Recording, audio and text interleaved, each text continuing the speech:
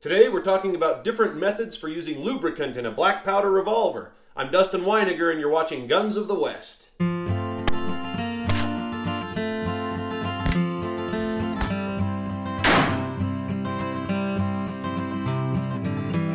A while back I did a video showing the benefits of using a lubricant over the ball or the bullet in the chamber of your black powder revolver versus not using any at all and it showed that if you don't use it, the bore can get very fouled up with the black powder fouling and affect your accuracy. If you do use it, it keeps the bore a bit cleaner and the gun running a bit smoother and longer. Well, I got a lot of requests after that to redo the demonstration showing the benefits of that same historical lube versus the modern pre-lubricated felt wads. So today that's what we're going to do. And the gun I'm going to use is the Remington New Model Army made by Pietta. That's 44 caliber. And I'll first demonstrate using the traditional lube, which is a historical way to do it. This, if you don't know, is a 50-50 mixture of beeswax and lamb tallow that I just mix up myself. And these lubricated felt wads are the Cabela's brand. Now those can be made at home with felt, and I'll do a video on that a little bit later. But if you are going to buy them from a store, I recommend strongly the Cabela's brand. Those wads are much thicker than most that I've seen and have more lubricant in them. So let's get out there and we'll see how these perform. What we're looking for exactly is accuracy, but also which one keeps the bore cleaner as you shoot. The powder charge I'm using is 30 grains of the Triple FG GoX Real Black Powder. And these projectiles are my .454 Homecast round balls. Just ram that down tight on the powder. And then I'll just repeat that all the way around the cylinder. Now with all the chambers loaded, it's time to smear some of my homemade lube into each one.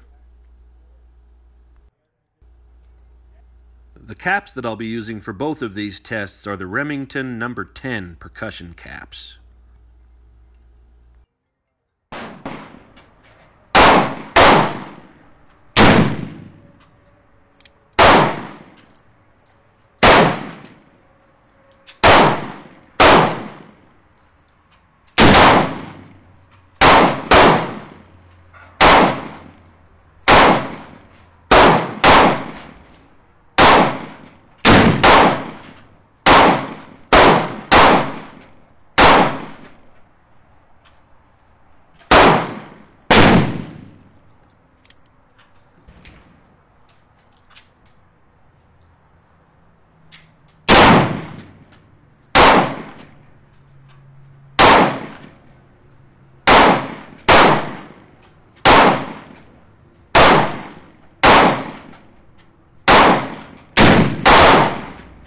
Well, the accuracy is pretty good, and those two really low shots could partially be just me. Let's see how the bore looks in terms of fouling. This is how it looked before I started shooting at all. And this is after six shots with the traditional lubricating method. It's a little blurry, but you can see that it is a bit fouled, even growing out a little, but still not as bad as using no lube at all, as you may remember from a previous video. This time I'll be using the same charge of powder, 30 grains of the 3FG GoX. Now I'm going to place a pre-lubricated felt wad down into the chamber on the powder. And then once again a .454 diameter homecast round ball. And again I'll ram that down tight and I'll just repeat this all the way around the cylinder.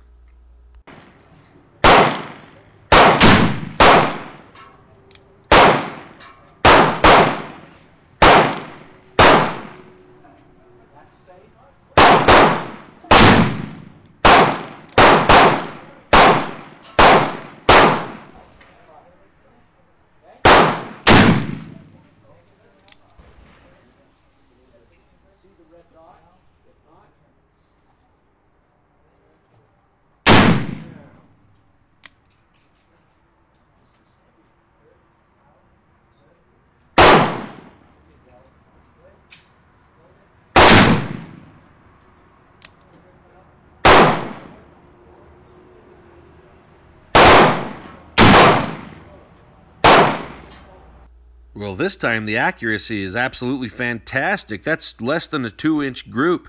You know, there may be something really to be said for these lubricated wads over the traditional method. And you can see here they even did a better job of keeping the bore cleaner. Now, as a lot of you know, I like to shoot these historical guns in historical ways, which means the traditional lubricating method. But after this range session today, it's pretty hard to argue anything against those modern wads. Anyway, hope you enjoyed the video today, maybe even found it helpful. Don't forget to click that like button down below and subscribe to the channel for more videos, and follow the Guns of the West Facebook page. Thank you so much for watching.